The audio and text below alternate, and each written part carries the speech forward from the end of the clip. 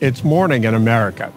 Ronald Reagan's famous phrase was pitched to give Americans back their agency, to sell the sense that tomorrow can be remade exactly as we want it. That, however bedraggled and damaged the country might be, like the smell of dew on grass, the promise of renewal never truly goes away.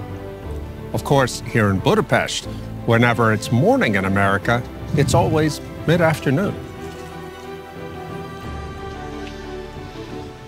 Visitors usually remark on how Budapest feels like Europe used to be. Hungary is a country where the streets are safe and people are friendly. It has escaped many of the pathologies of the modern world. Meanwhile, in the same period, Americans have lived through Ferguson and George Floyd, Me Too, and the 1619 Project, transgender admirals, and transracialism. The country has lost its self confidence in ways that no Iranian hostage crisis could have forced. But it's always darkest before dawn. Take a moment, look around. Can you feel the vibe shift?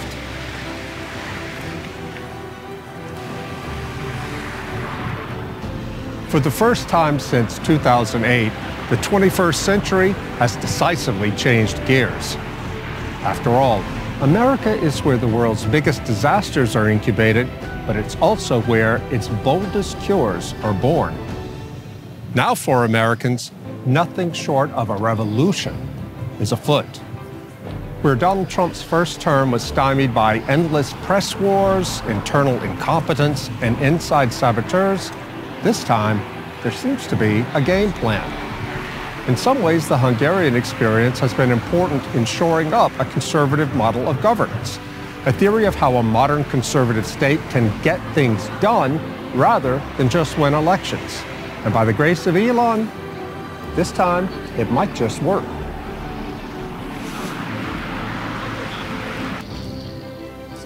Now, in geopolitics, in culture, and in the grand bargain between the social classes, America is about to be made anew. For better and for worse, where America goes, we in Europe must surely follow. Trump, the world, and the vibe shift. This time on The View from the Danube.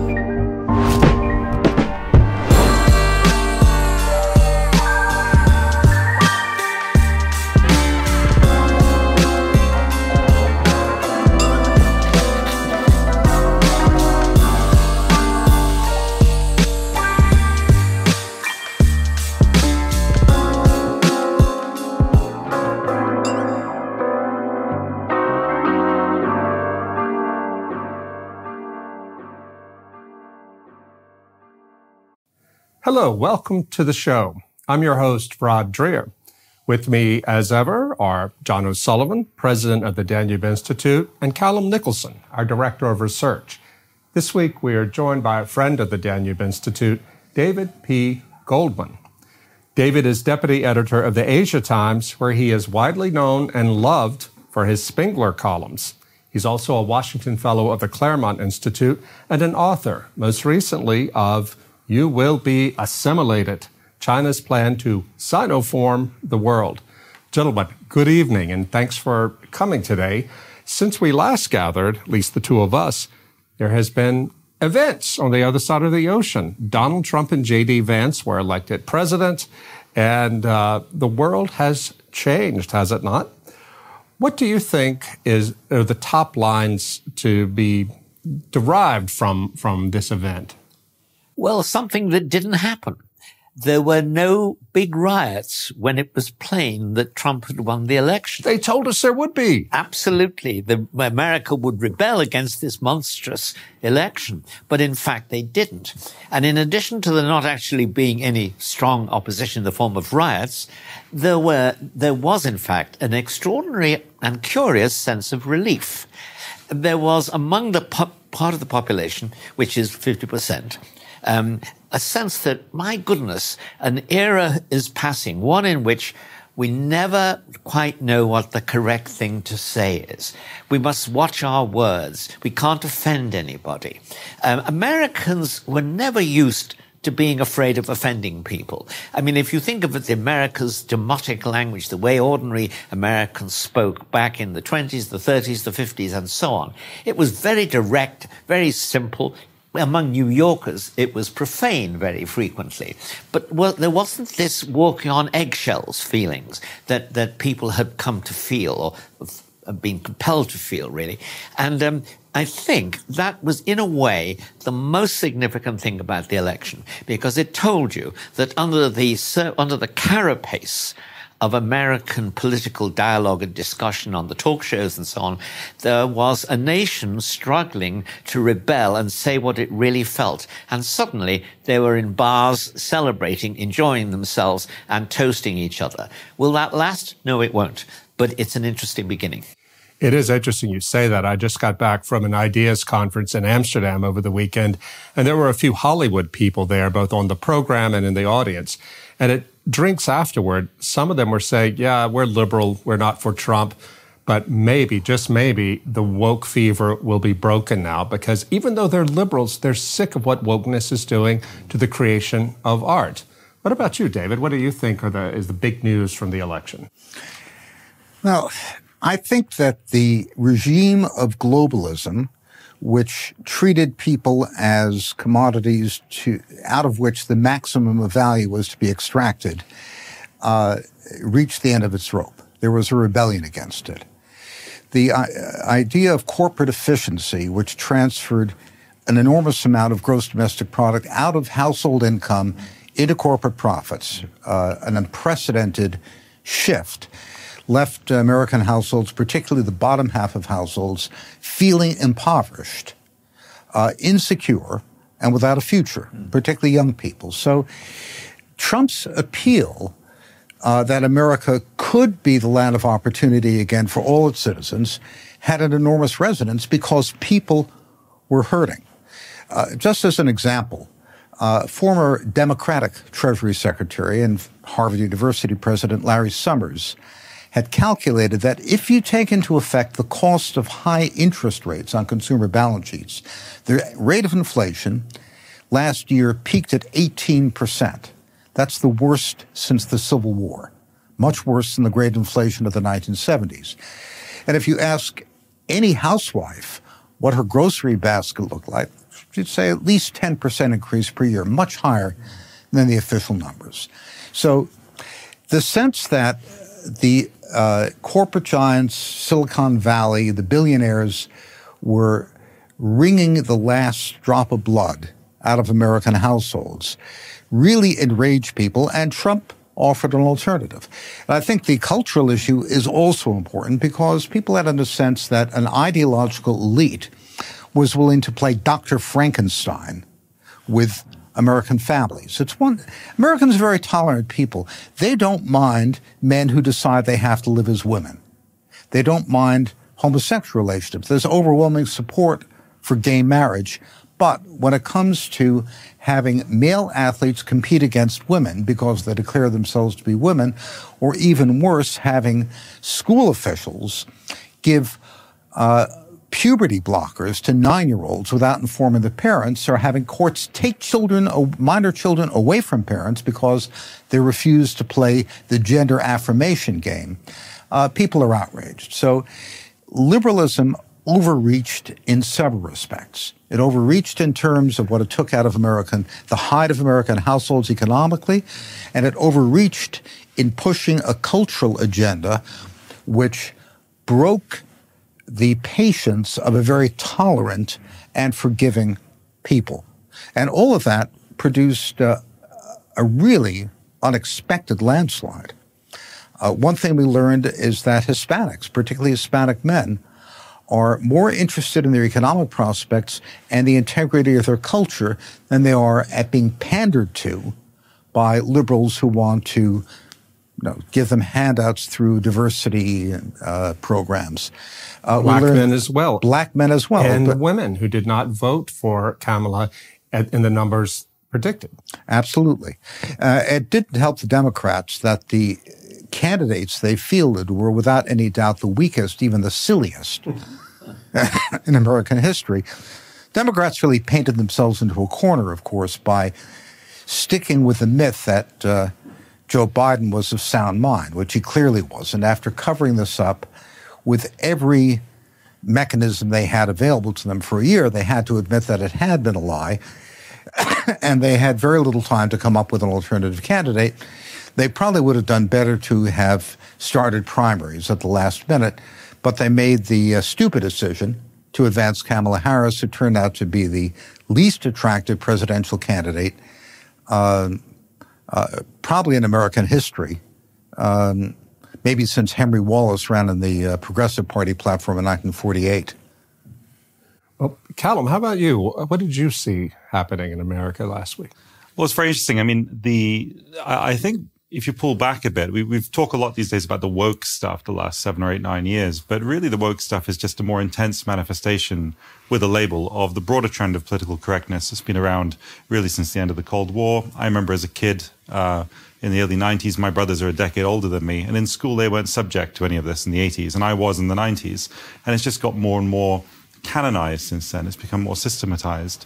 And um, I think people are, if you think about what all that stuff is, it's really people beginning not from how the world is, but from how they believe it ought to be. And I think what Trump's victory represents here is it's a sort of bonfire of all the vanities of a culture that believes it can reform itself as an ideal, as a sense of how it ought to be. And I think, honestly, if we're always trying to aspire to a perfect version of ourselves. It could have been in terms of wealth, or it could have been in terms of health, you know, go to the gym, or it could have been in terms of yourself, in terms of your mor- morality. Um, I think it, it gets to a point where we all realize we'll never get there. And if you look at the woke movements, they always eat their own. They don't actually cancel conservatives. They cancel people who are apostates, who leave their group. And uh, I think people eventually get, have got sick of the, the, the, the, the heaviness of this culture and so I get the sense that in Trump's uh, victory, the general feeling and the sense of a vibe, you know, you said in, in the in the beginning of this, look around you, you know, feel the vibe. Um, there was a great sense of, I think, relief. And there was an interesting event last week or a couple of days ago, maybe, uh, um, when we were filming this. The uh, uh, there's a UFC event in Madison Square Garden. What's UFC? The, uh, the, uh, Ultimate Fighting Championship. And Trump went and Vance went and and his whole cabinet oh, went. Joe Rogan was there. Joe too, Rogan yeah. was obviously there, yeah, and the whole group of them. And it's really interesting. You look at the audience. There was a general sense of. Um, of, uh, of relief and a sense of just being ha- being happily who they are. It, there wasn't anger, there wasn't ideology, there wasn't politics.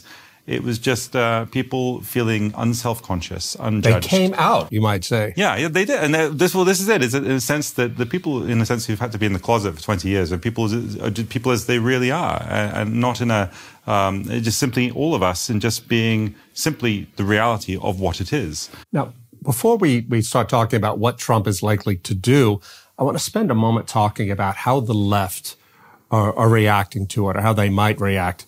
Uh, at this conference in Amsterdam, there were mostly liberals there, and there were a few who seemed to be living in the real world with the rest of us. But it was striking to me how most of them were utterly shell shocked by what was happening and could not seem to accept it as something that they should learn from. Uh, it was something along the lines of what Seth Moulton, the Democratic uh, uh, congressman from Massachusetts, said. Uh, he he came out and said, in, after the election, gave an interview and said, you know, I. I'm a, I'm a liberal. I'm a Democrat, but I have daughters. I don't want my daughters playing at, uh, playing sports and being knocked down by biological males. He said that and the next day, his chief of staff, I believe it was, resigned over this transphobia, which just proves the point that you, there's some things you can't say on the left. Um, the thing that I noticed at, at, the Ideas Conference, talking to some of these people, these are, you know, one of whom was a um, uh, is a defense official in the Biden administration, assistant secretary of defense. They just can't cope with it. And uh, I, I was struck that they seem to be determined to live in the past. Now, I don't expect them to approve of, of Trump, certainly not. They don't agree with him philosophically. The thing that struck me, though, was it was almost about epistemology. You know, they couldn't accept the facts that were right in front of them. Uh, and I, I was reminded on, in reflection on something Edith Stein, the the Jewish born Carmelite uh, philosopher who died in Auschwitz, something she wrote saying that for a certain kind of secular liberal, uh, they, they can't see reality because they identify so fully with their idea of the good that to admit facts that con- contradict their ideas is a nullification of the good, and that's too much for a lot of people to take. Does that make sense to you when you look around and see what how the left are reacting to this? Well, indeed, and I think that's what makes the uh, next two months particularly dangerous, because given the self righteousness and sense of absolute entitlement to the truth of the left, uh, the left will do anything possible to sabotage Trump before he comes in. Uh, the Hungarian uh, officials of the Hungarian government, for example, have pointed to Biden's decision to give uh, Ukraine permission to use long range U.S. missiles to attack deep inside Russia as an extremely dangerous move. Why do that now after uh, more than two years of war? I think the only uh, possible explanation is that they want to make it much more difficult for Trump to uh, find a peace settlement for Ukraine, which was a major and very popular part of his uh, electoral platform, uh, by provoking escalation to the extent they can. Uh, and there are many other ways this could happen.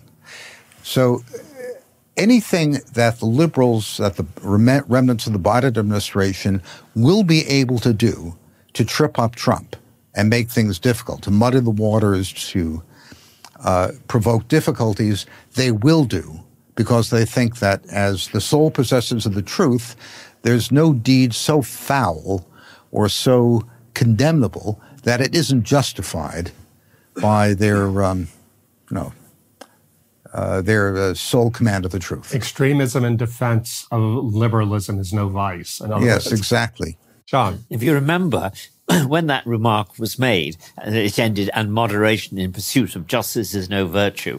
Um, a, a, great political th- uh, theorist, uh, William C. Kendall, said there's nothing wrong with that statement that couldn't be put right by a hundred thousand well-chosen words.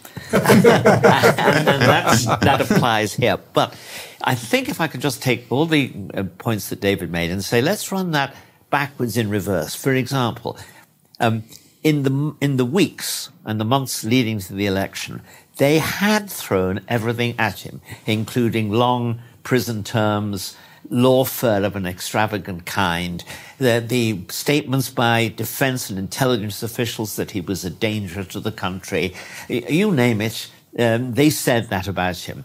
And they must have thought, against those odds, no, nobody can prevail. And, and I think a lot of people on the right felt that as well. They were in despair towards the end because they thought, how can we possibly win against such a united establishment barrage?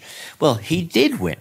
And that, of course, produced the relief I was talking about before, but it also produced this astounding kind of depression and um, inability to grasp what had happened on the part of the left. So that you have seen since since the election uh, on the left, you've you've seen these series of breakdowns. People there are now quite. If you turn on the internet, you can watch any number of young women having nervous breakdowns and and and trying to solve them by primal screams and, and shaving their heads. Have you seen that? Shaving their heads and dressing up in fancy dress clothes as as act, as, as you know, extras in The Handmaid's Tale. This kind of thing now, is the four-year sex strike.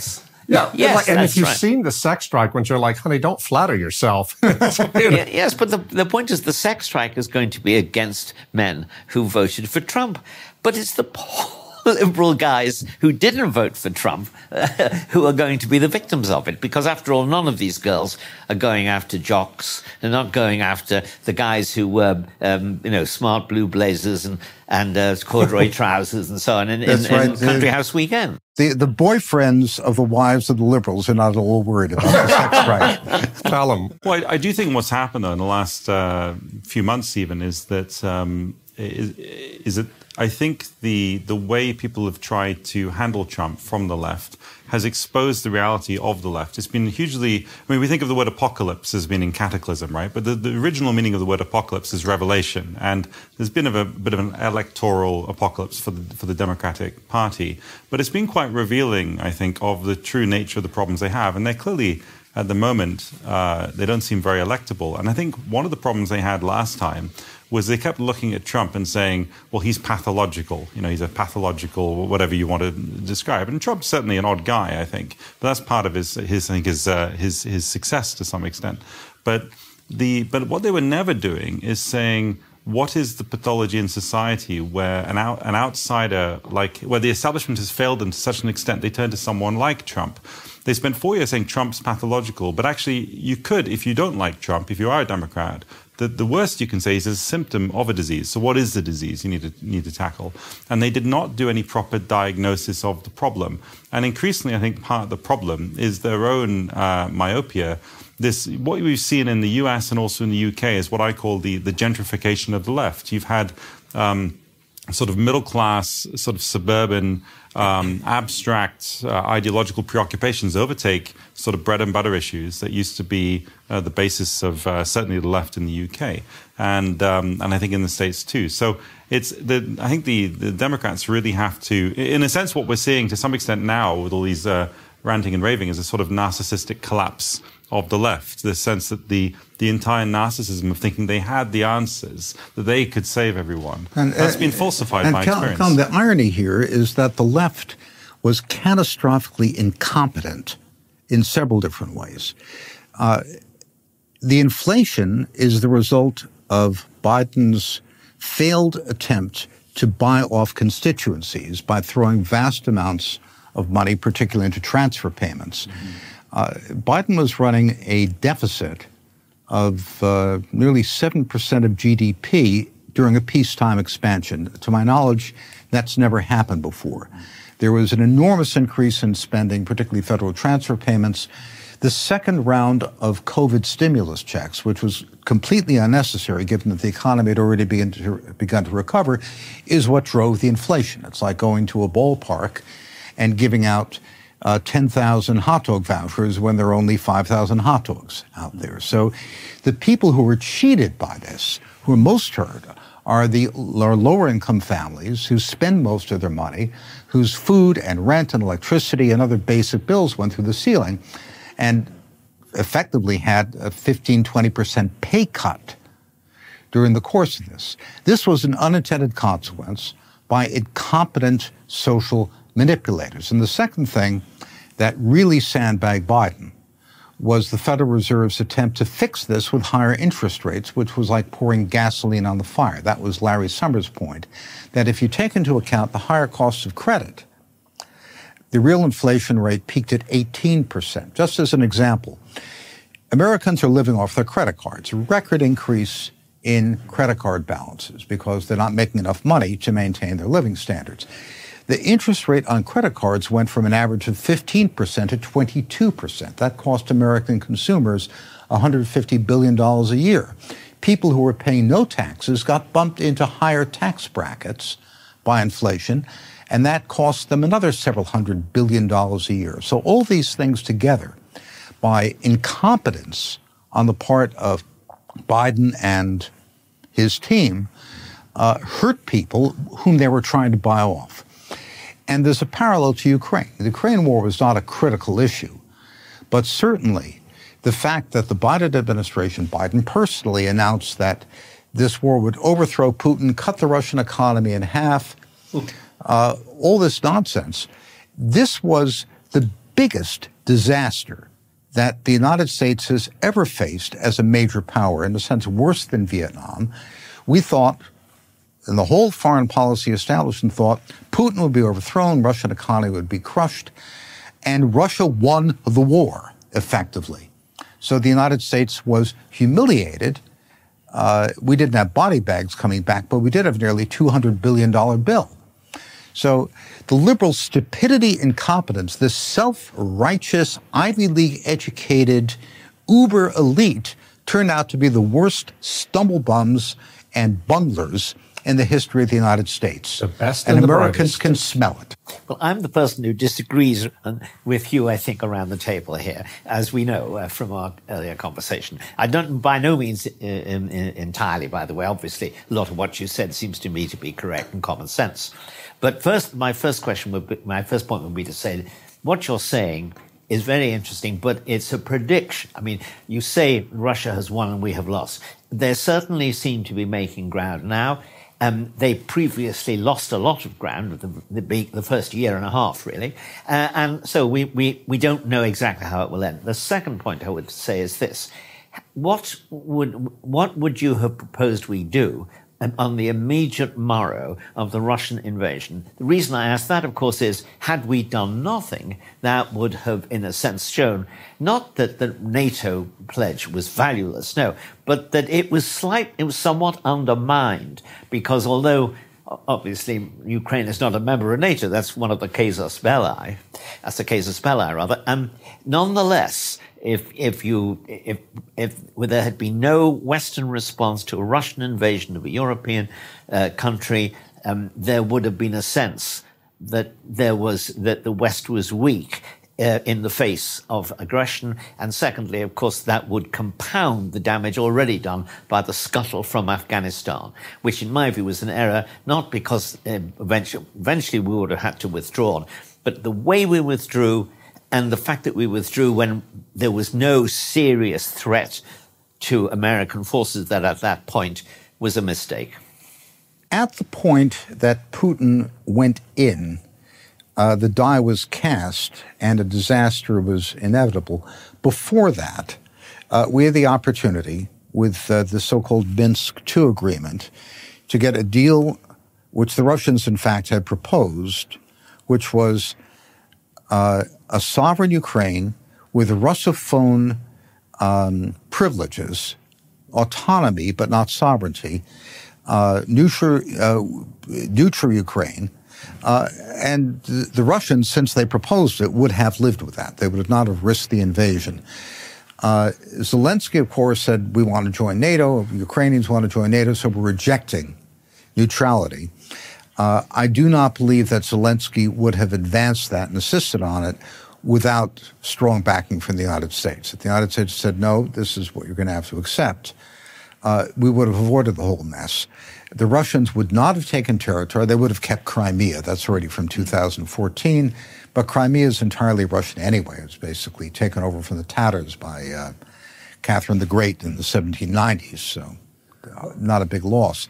I think the, the catastrophe could have easily been avoided in late 2021. That's certainly the view of Hungary's foreign ministry. It's the view of uh, everyone I know in Germany. Uh, and of course, you can't prove a hypothetical after the fact, but I have a very strong, I think there are strong grounds to believe that. So, so why wasn't it done? I, because I think it, that the uh, Biden administration wanted regime change in Russia. They thought they were going to get it. Biden announced there would be regime changes, that Putin can't remain in power. He announced in a tweet in March 2022 the Russian economy would be cut in half. They believed that. And it wasn't just the Democrats.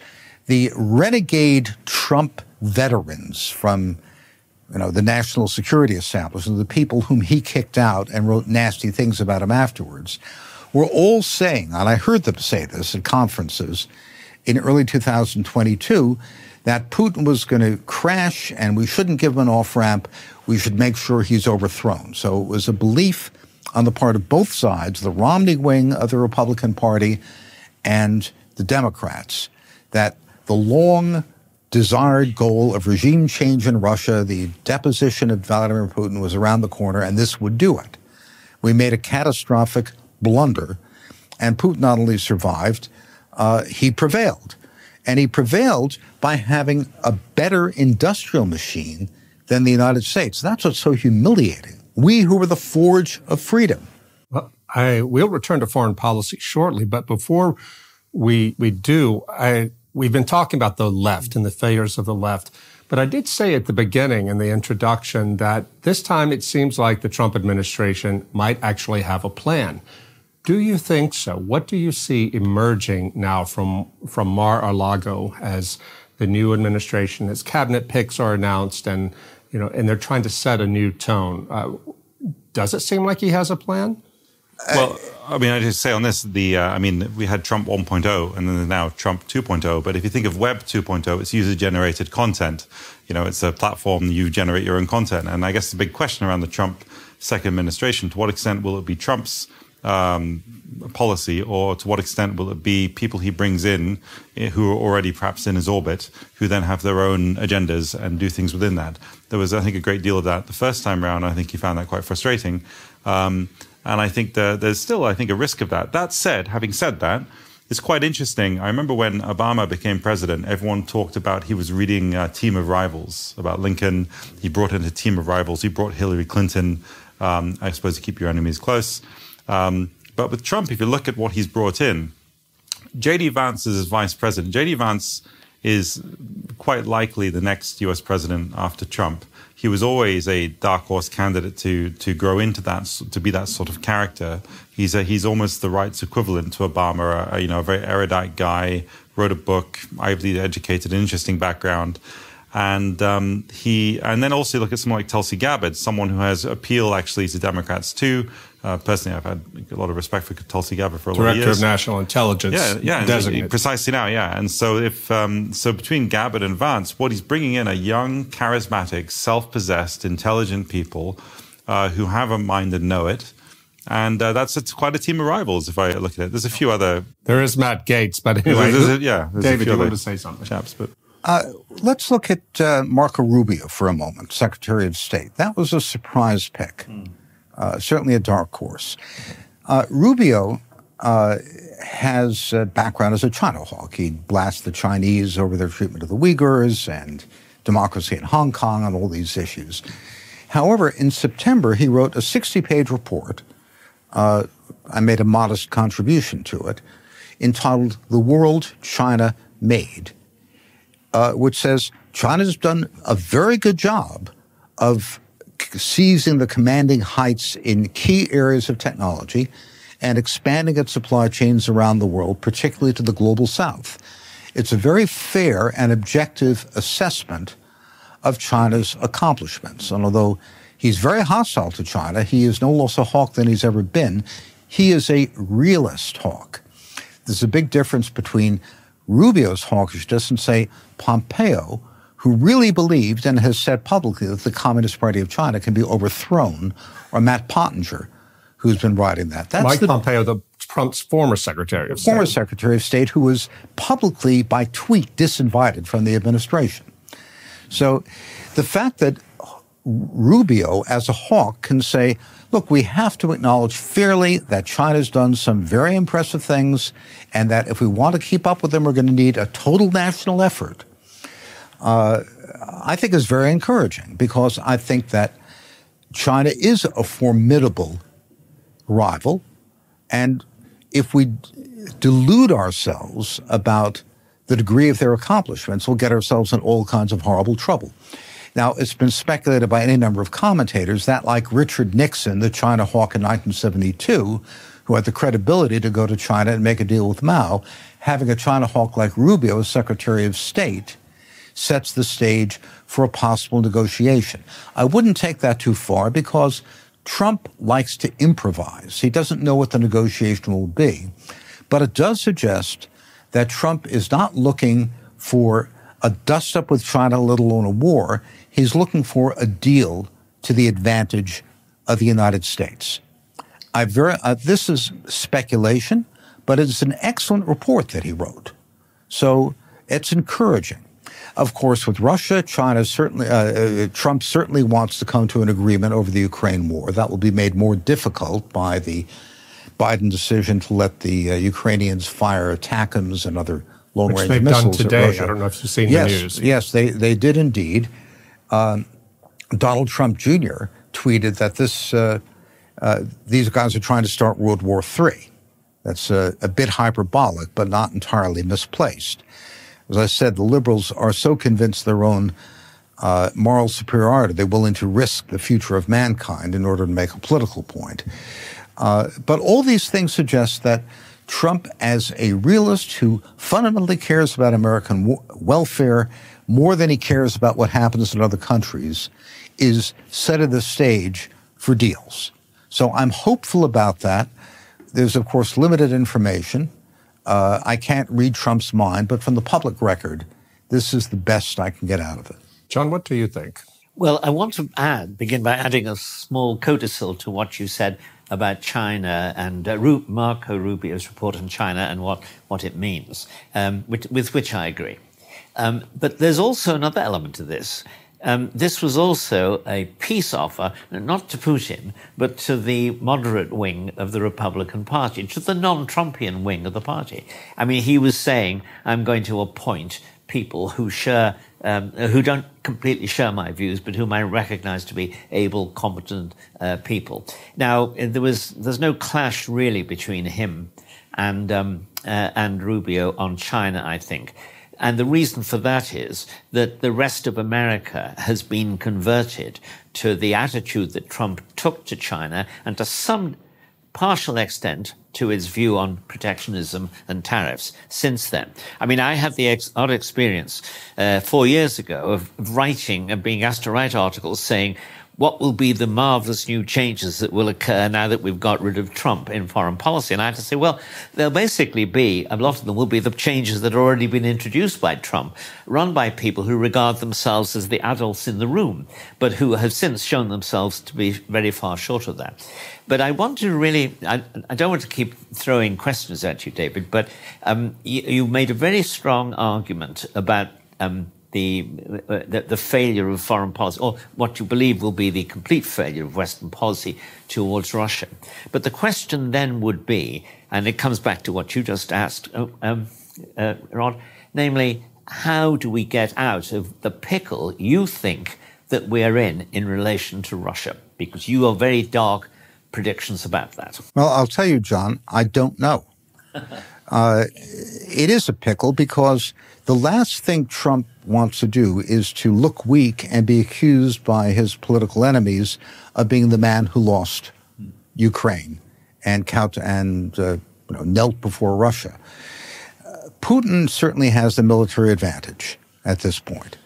Uh, he's not going to give it up in return for uh, promises. He's had promises in the past. The Russian view, uh, for better or worse, true or false, is that assurances were given about the limits to the expansion of NATO, which were then ignored. So, why should we believe Western promises this time? There's certainly a collapse of trust.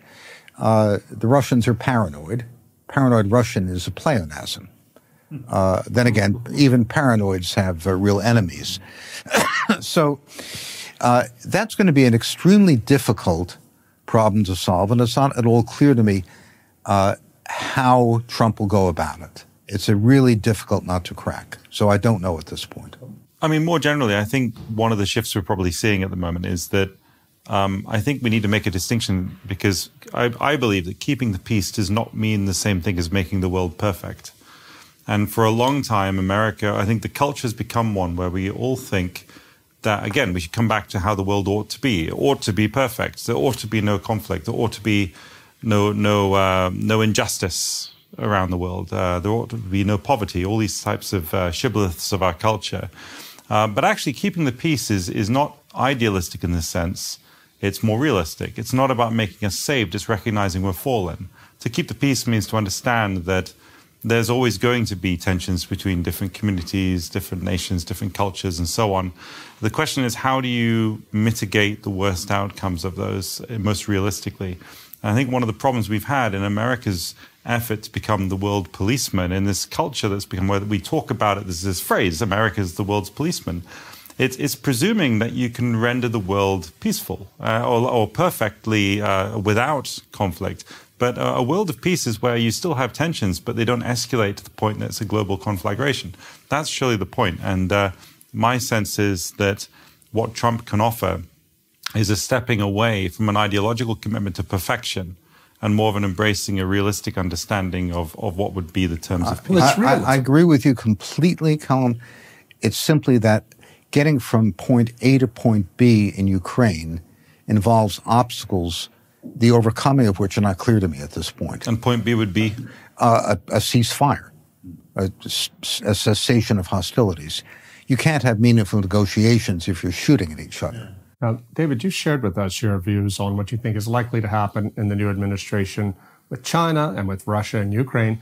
But tell us about Europe. I mean, we're sitting here above the Danube in, in the heart of Europe, and uh, a lot of European establishment politicians, leaders, are frightened of Trump. They don't know what's coming next. Uh, in the UK, the, the Labour government, the Prime Minister, Starmer, Keir Starmer, sent over minions to help Kamala Harris win. That's probably not going to be regarded kindly by the incoming American president. How do you think Europe should uh, should look over at what's happening in Washington, and what can Europe expect? And the UK, I should add. Uh, as uh, a, a friend of mine who served in a high position in the first Trump administration says, Trump sincerely believes that the trade balance is America's economic scorecard. So there's a bit of zero sum game in the way he looks at the world. Uh, we win, they lose. More exports for us, fewer exports for others. So given that Europe has a chronic trade surplus with the United States, uh, there's there is a risk that Trump will put tariffs on and try to reduce that, or he'll tell the Europeans, "Don't send cars to the United States. Build more cars uh, in the build factories in the United States." Now, given that Germany's auto association is warning that of the 450,000 auto um, uh, workers in Germany, 200,000 could lose their jobs in the next two or three years. That's not going to go down very well. Uh, the Ukraine war, though, is really the biggest source of Europe's problems. So, to the extent that Trump is able to solve that thing, that would have enormous economic benefits. Uh, uh, as I was saying today at the at the uh, Danube Institute's uh, conference, German industrial companies are now paying uh, 40 cents a kilowatt for electricity as opposed to 7 cents in the United States. And German energy intensive industry has lost about 20% of its output in the last two or three years. It's a real catastrophe for Germany. So if you're able to normalize relations uh, with Russia over time, go back to a certain amount of natural gas deliveries, which Hungary, for example, is getting, uh, reduce the cost of energy, that would turn the tide of deindustrialization. So I think the single biggest benefit that Europe can hope for from Trump is to end the Ukraine war quickly and get back to normal. And that would have economic benefits that would vastly outweigh any annoyance from tariffs. So I think that's devoutly to be encouraged. Doesn't mean it will be, because many European politicians, as um, I think it was Balázs Orbán who was saying this today at the conference. The prime minister's political director. Yeah, many, you're right. Many European politicians are so invested in the Ukraine war that they'll do whatever they can for their own careers to keep it going. If, if it were just that, um, I think that would be the, extraordinarily important. But you've got to add to it the commitment in Europe, particularly in Germany, uh, but where in any European country where the Greens are a significant part of politics, you have a commitment to net zero, Absolutely. which which does all of the things you've just described uh, including raises the price of energy, of yes. course. No, thank, thank you for emphasizing that. Uh, uh, there is excellent research demonstrating that Germany has enough natural gas reserves uh, available through fracking to replace all the Russian imports at a very low price at minimal environmental risk. And if the Germans did not have this green dementia uh, ruining their economic policy, and they attended to their own affairs properly, they could solve these problems. So a lot of, you know, it's I think it's perfectly fair at the United States to tell the Europeans, physician, heal thyself. Fix your own house. Don't expect us to do it for you. David, how do you think that the reelection of Donald Trump will affect the rise of populist parties of the right in Europe. I mean, clearly here in, in Hungary, we're thrilled. We who are conservatives are thrilled by Trump's election because he and Prime Minister Viktor Orban have a close relationship. And Hungary has been kicked around a great deal by the Biden administration and the current American ambassador. So we're happy about that.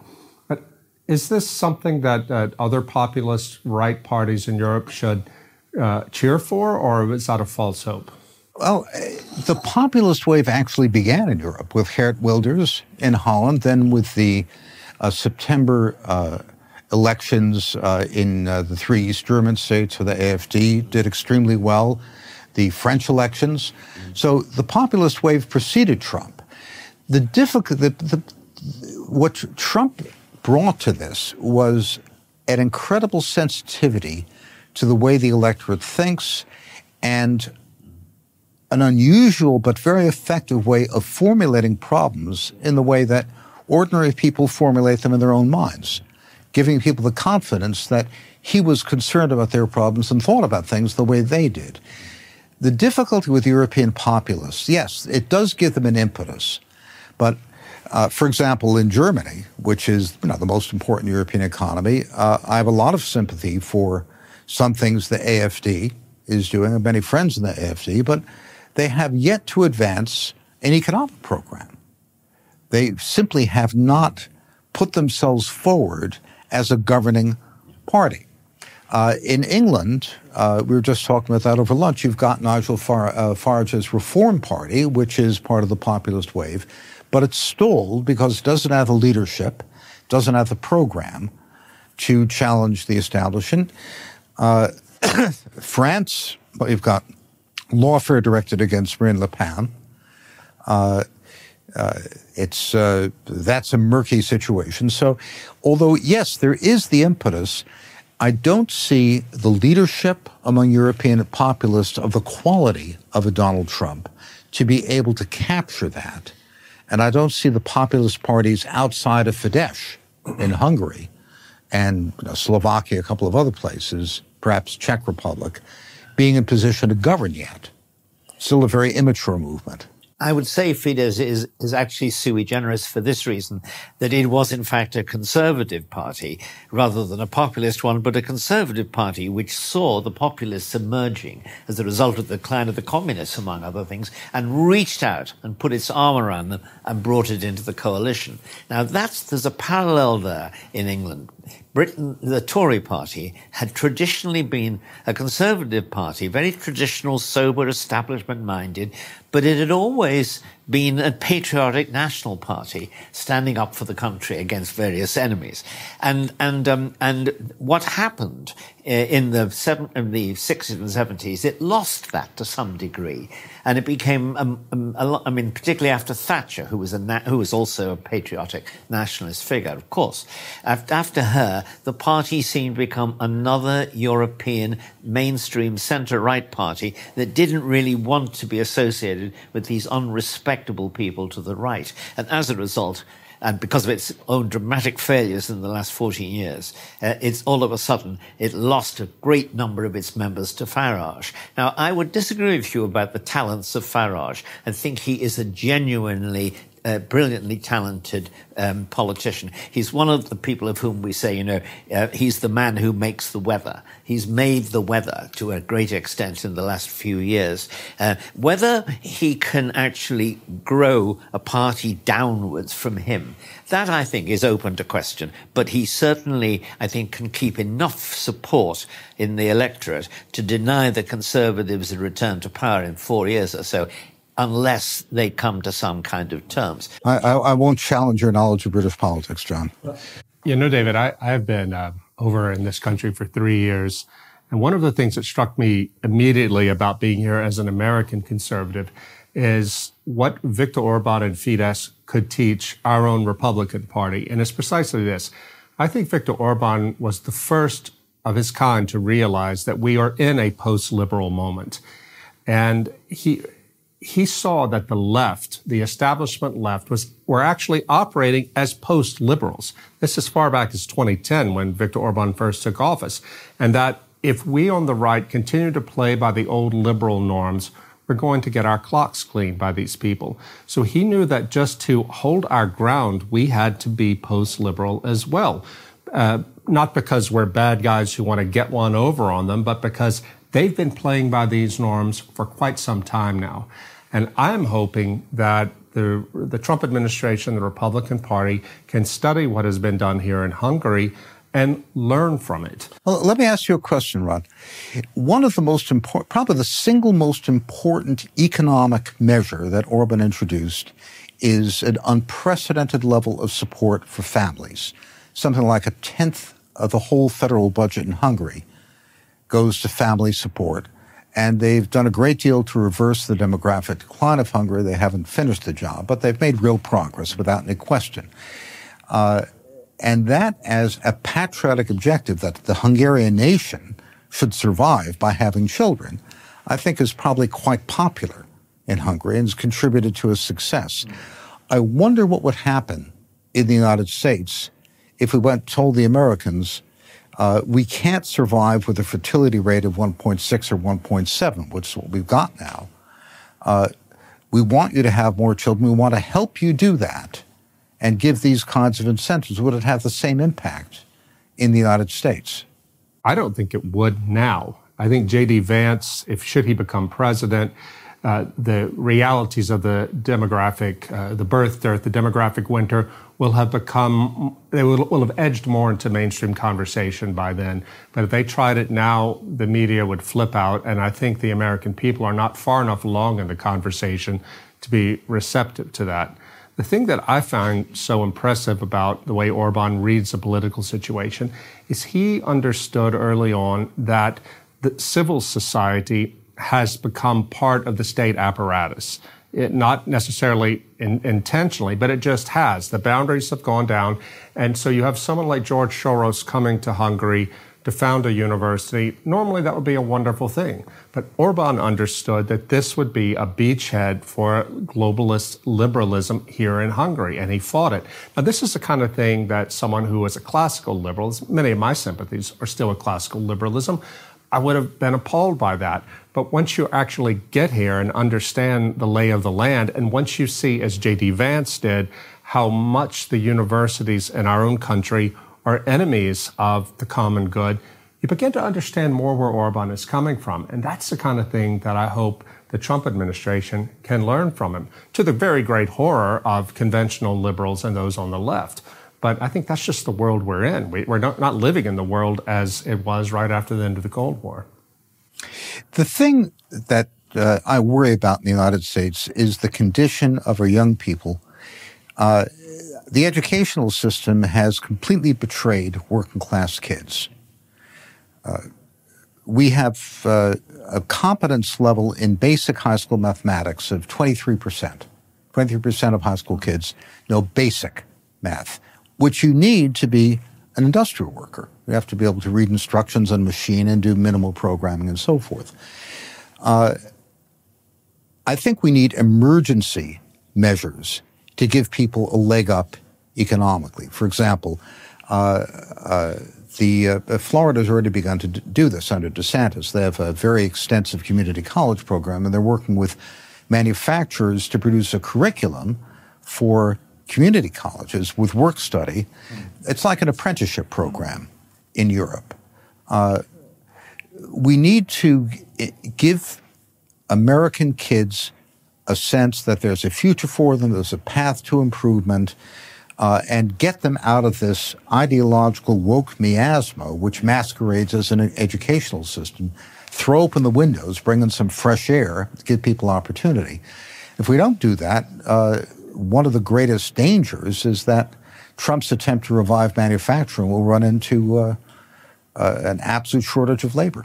Does this not get to a deeper question, though, about uh, you know what is the thing that we now argue about in politics? Because it seems to me that you know if you go back to the 20th century, you had the communists, the capitalists. They all uh, had different. Uh, we think of it as very divided, but if you think about it, they shared something. They shared what the question was. They both agreed that the problem was political economic. Should it be, uh, should the political economy be best run by the state or by the market, right? What should be the main driver? That was the 20th century. The thing is, today, I don't see what the shared question is because we have the two sides and we're not, we, we don't agree on the problem because we think the problem is each other. So one side looks at the other and say, you're the disease and I'm the cure and vice versa. And, uh, and I do wonder with this if, um, if we have yet to determine what, are, what is the fundamental problem we have in our society today in 2024 and going forward. What really is the problem? We know we have problems, but what is the pro- what is the problem? What is the nature of that problem? And um, I don't think we've really settled on the problem on which both sides can agree on and then develop different responses to. Uh, I, but, but I have, I have a theory, which is yes, simply that sorry. I think it's coming on this, is that I think going forward, and it will definitely be the case if there is a single cyber war incident, if a war breaks out and there is an attempt to shut down the National Health Service somewhere. I mean, the UK has already shut it down, basically. But the but if if there was some sort of a cyber attack on fundamental infrastructure that really affected ordinary people and people who vote, then I think that uh, the likely emergent distinction we'll have is not state versus market in the political economy, but it'll be digital versus analog. To what extent do we want digital technology in our lives? There'll be political parties that say we should have it in all areas. There'll be other ones that say we should only have it for work. Some will say just for defense, some none at all. That's my sense of where we're going. But I'm wondering, in, this, in the context of this sense of a vibe shift from, you know, the uh, the uh, from this something about Trump's elections led to the end of the the, the liberal order, this post-liberal order. Okay, post-liberal order is quite it's quite a negation. It's not liberal. But what is it? What, what is the fundamental well, it, difference? It remains to be seen. I mean, uh, Ross Douthat, uh, the conservative columnist at the New York Times, had a really interesting piece over the weekend to say that whatever else one might say of this time, we can say for sure the 20th century is over. The reelection of Trump means that. Uh, and it also means, by implication, that anything goes because the, the, the fragmentation that has come with digital life, with the internet, and so, so many of the other knock-on social effects of that has opened the Overton window. We just can't say what's coming next, but what we can say is all the old boundaries, all the old means of controlling the discourse, controlling the, the direction of history, to speak in a Fukuyama sense, they're gone. They're over. Is that part of the vibe shift? Is that the most fundamental part of the vibe shift? Or is Douthat wrong? Well, um, first of all, of course, the fact that the old boundaries have been eroded um, and the old guardians and the gatekeepers of discourse no longer have the power they had because the newspapers have discredited them, the media in America and Britain and Europe have discredited themselves by their an incredible degree of bias, actually. Uh, and there are other uh, people coming up to replace them. One of them being, of course, X under Elon Musk, which is now one of the most productive, uh, sorry, one of the most uh, uh, read sources of news. Just as, for example, in England, GB News, a kind of um, um, scrappy young news upstart, uh, which is avowedly a kind of a conservative outlet uh, of news. Uh, that, that now, the other night, Farage's TV program had more viewers than BBC and ITV combined. That's remarkable. So, so it's remarkable, isn't it? And um, now, I, but it doesn't mean to say this. All of this uh, liberalism or liberta- li- uh, liber- liberation breaking out does not mean to say there aren't going to be new barriers. In fact, there's a lot of people trying to impose barriers, um, and that includes Western governments they, it no longer includes the US government because Trump is an avowed enemy of using, um, containing disinformation or combating disinformation as a new, as a form of disinformation. He's against that.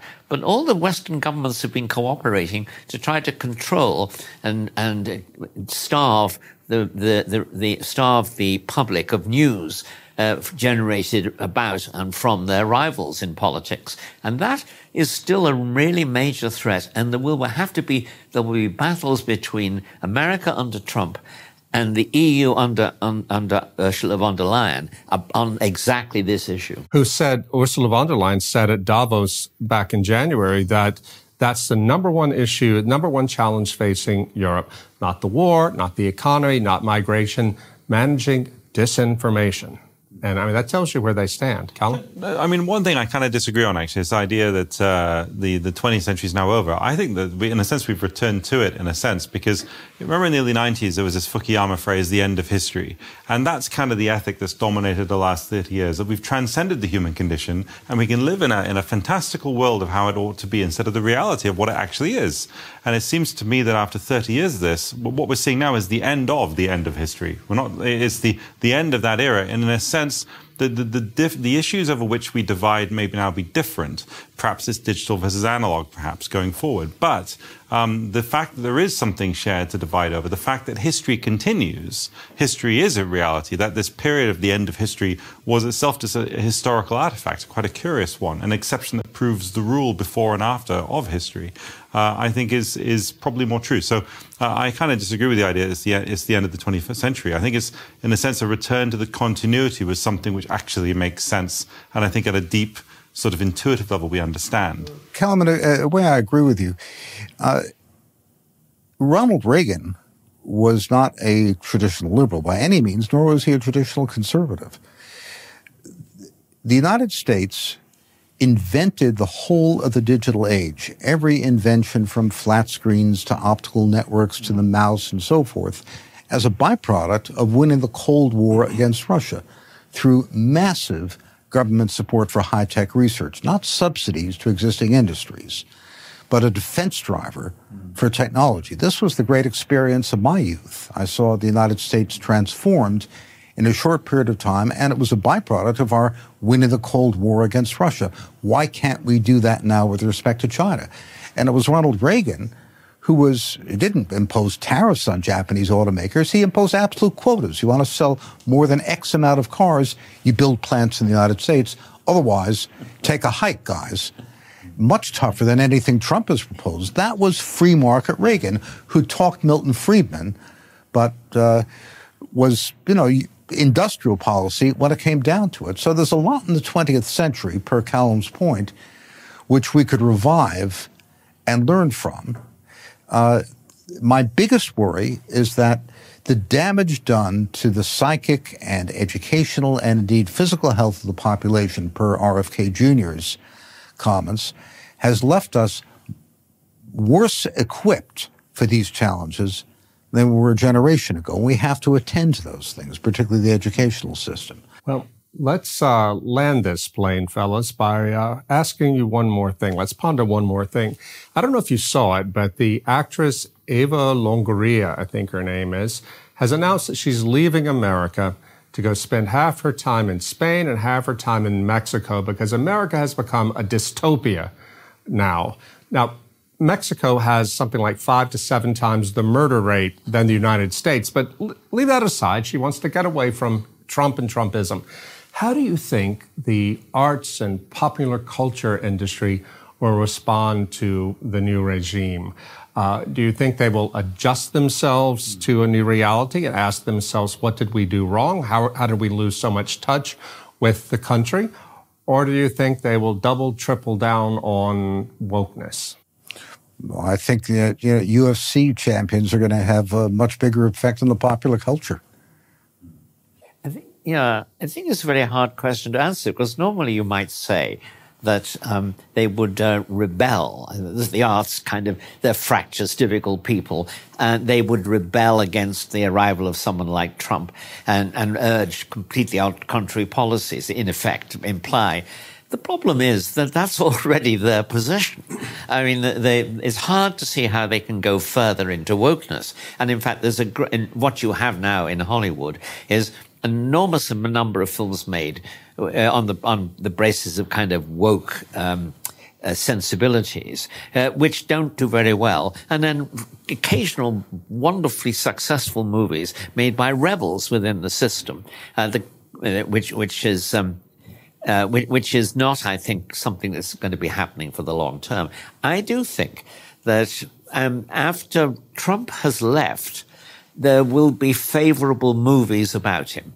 Uh, that that that is what's likely to happen. He'll be just as just been a favourable movie about Reagan. Now it had to, that movie had to fight its way against the uh, popular opinion within Hollywood, but it's and only got hostile reviews. But the actor, uh, D- uh, Dennis Quaid, who played Reagan, is a marvelous choice for the part. He looks like him, and it's had a it's had a quite a without great reviews, it's had a very successful run at the box office. So I think you'll get that kind of response. D. Vance is president, and and people are suddenly saying, you know, Trump really was quite a good guy. Uh, one thing, I, I, mean, you and I have had this conversation for several years, but uh, we've had a slight disagreement where I, have never thought the woke stuff is the end of the world because I always felt it was a fashion and it would pass. And if, if, you go back to the 1950s and 60s, the establishment was quite conservative. And then you had the sort of liberal movement in the 60s and these hippie movement emerged and so on. And my thought for a few years is that uh, people who are maybe uh, 15 now or 14 now are probably going to be kind of conservative hippies. They're going to be un-PC radical cultural revolutionaries if revolution means uh, rebelling against the sort of uh, stiff orthodoxies of the, of the prevailing establishment culture. And uh, so I think we're, we're going to see some of that emerge. And I also think it's worth noting that if you look at the popular culture, the big popular culture, the big movies, the the Star Wars and the, the Harry Potter stuff, Lord of the Rings, all this, all this stuff, it's all really telling the same story, which is uh, which is um, it's 1945. It's uh, the the plucky guy with morality on his side defeating the big evil bad bad guy. And I, and I do think if you, but my point is that there's almost nothing in our popular culture today which pre- predates 1945. Any book from before that is in the classic section. And, and my sense is what's going to happen now. The culture is about to change. Something's happening at the moment. And I think in 10 years, the art being produced will have almost no relationship to the stuff we're seeing right now. All this stuff we're going through now is going to look incredibly dated in three or four years. Uh, I, if I could offer another way of looking at this, I think that every one of the antinomian loners with a problem with authority who are our hero. They are obsessive theme in American popular culture. Every character played by Clint Eastwood or John Wayne or Sylvester Stallone or whoever, the previous generation, uh, they're all, in a sense, versions of the Christian and Pilgrim's Progress, the sinner on a lone journey to salvation. It's the cowboy who cleans up the town but has to ride off into the sunset, the private eye who solves the case but goes off by himself. And if there was any American politician ever in our history who encapsulated that lone antinomian pilgrim, it's Donald Trump. He is a hero of our popular culture. And whether or not they make movies about him, I think this will be an inspiration for a revival of the kind of character who begins in American fiction with Huckleberry Finn and goes all the way through Clint Eastwood. Can, can I just say, as a non-American, I completely agree with this. That Trump, there's something about. I'm not. I've never been a big fan of Trump personally, but I tell you what, I respect the guy. After the last couple of years, there is nothing more American than this idea of you just keep, you never quit, and you keep trying until you find some sort, sort of success. It's Mr. an extraordinary yeah. story. The last Mr. Smith years. goes to Washington. He's a Frank Capra movie. Oh dear. Frank Capra movie produced by who Jerry Bruckheimer or something. okay, well, let me let me close Sam on let me close on a characteristically pessimistic note. I used to be a film critic. I, I left that world as a film critic at the New York Post. And I would always hear when I would, we would talk about uh, get into conversations with people about whether or not Hollywood is liberal. Well, of course it is. But uh, people would say to me, people who didn't know what they were talking about would say, yes, but of course, money drives everything. And if they weren't making money on liberal films, they wouldn't be making so many of them. And I would have to tell them, no, they, they're willing to lose lots of money on liberal films because what really matters in the film industry is the respect of your peers. You know, it's you're fine to lose the money as long as you can be patted on the back and been given a Humanitas Award by advancing some left wing agenda. This is also true, by the way, for newspapers, for major media. They don't care that they're losing ratings and advertising dollars as long as they are respected among themselves. That can't go on forever, mind you. I mean, eventually the, the, the piper must be paid. But I think we have a long way to go with our pop culture because I was talking with some Hollywood people recently and they were liberals, but were griping and just wailing and gnashing their teeth over the wokeness and how it's stifling creativity. One of them said to me, Do you remember that the Academy, the Motion Picture Academy, put in all these rules saying that if anyone wants to be considered for Oscar uh, for Oscars uh, Academy Awards, they have to tick off the boxes, the wokeness boxes, the diversity boxes. That is a straitjacket on creativity. But here's the thing: it strikes directly at what drives so many movie makers. They want the recognition of their peers. They don't want money. Of course, everyone wants to make money, but more than anything, they want recognition. And I think until and unless the Academy revokes these ridiculous rules, we're still going to have a problem. And there's going to be a lot more money to be lost in Hollywood before they wake up. Well, gentlemen, it was a fantastic time. Thank you all for, for being here. David, you're going to be here in Budapest for um, much of the next year, so I'm sure we'll have you back. Privilege and honor. Thank and you, Rod. Thanks to you all for joining us today. I'm Rod Dreher from The View from the Danube. Egészségedre. Egészségedre.